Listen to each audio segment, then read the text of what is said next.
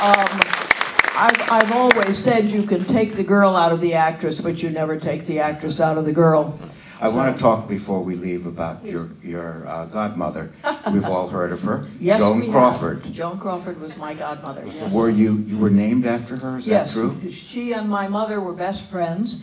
Uh, my mother was in the publicity department at MGM when Joan was signed, when Lucille LeSueur Yeah. came to MGM and was signed and became Joan Crawford. And my, she and my mother were approximately the same age, and they were best friends. And when I was born, I was named after her, and she was indeed my godmother.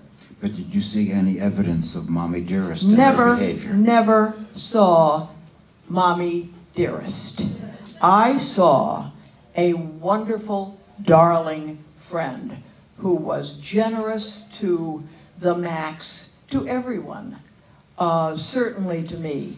She was a darling, wonderful friend. I, I traveled when I was a little girl. I traveled on the train from New York to California with Joan.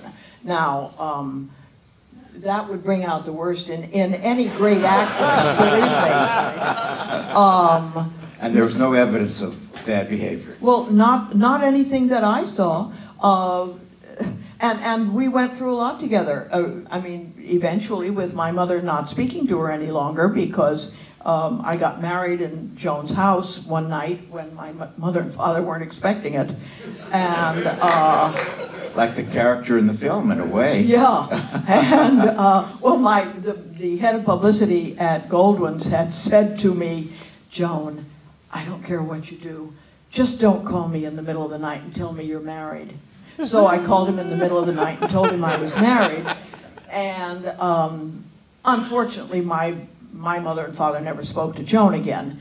But, uh, but that had no bearing on her relationship with me and her kindness to me and to my husband for that matter. So, who, by the way, to whom I am still married after 61 years. So, um, it was, uh,